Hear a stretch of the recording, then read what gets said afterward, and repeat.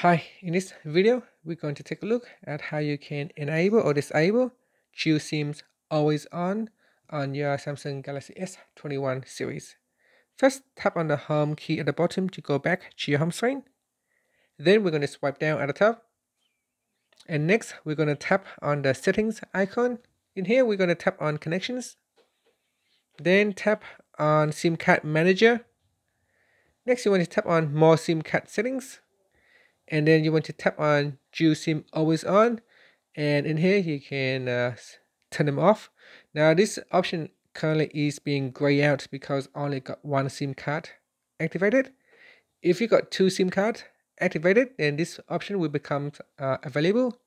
And from there you could choose to enable or disable Dual SIM always on.